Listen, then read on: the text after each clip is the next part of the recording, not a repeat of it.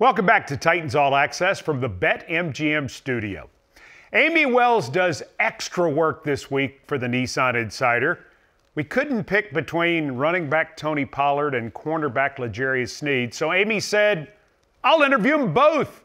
We hope you appreciate her extra effort for this week's Nissan Insider, or should I say, Nissan Insiders.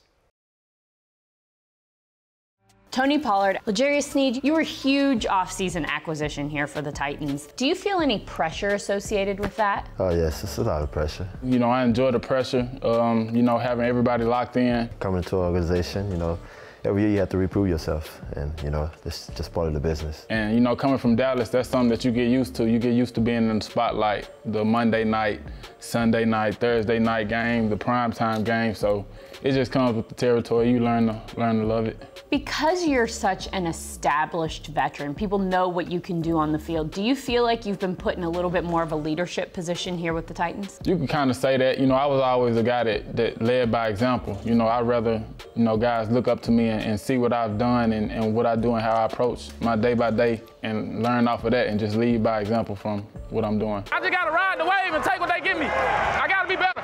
It's go time. Go time. I have the young guys, just like I have my kids looking up to me. I have young guys when I come in here asking me questions. You know, it's a lot of pressure. You know, I have to show them the way. You know, I had guys who showed me the way, and I try to install into the young guys. What is your your leadership style? Uh, man, I'm not vocal guy. I'm a very, you know, lead by example. You know, you see me go by my work, watch the film. You know, I take my job very serious.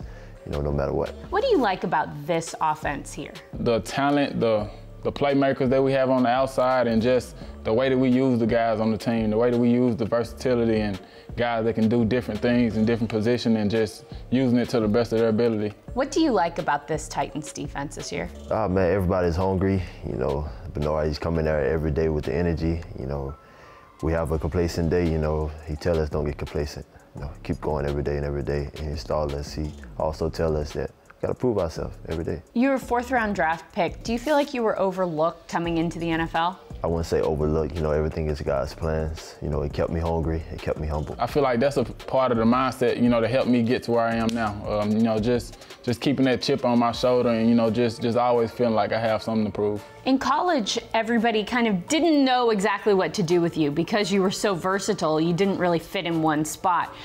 Do you think that that is to your benefit now that you have experience in a lot of different places and you can kind of keep people on their toes? I became very valued. You know, it's just like I tell coaches, just throw me on the field. I'll play whatever y'all want me to play. I will learn it. So just having that, that receiver background, that you know, that good hand-eye coordination, being good with ball skills, and on top of being able to run the ball, it just it makes it easier to be on the field a lot more. You've got to have a lot of confidence to be able to say that, though. Uh, yes, I mean it's just what I've been doing my entire life. You know, from wide receiver to defense. You know, know, just used to it. When did you realize that throughout your career you were going to be getting more of these responsibilities. You were going to be a guy that was going to be up front. You were going to be someone who was going to be thrown on the field. Was there a moment where you realized, I'm going to have to step up and take some of this on? Yes, I could say uh, my rookie year. You know, I had to go in, some things happened, and coach just threw me in there.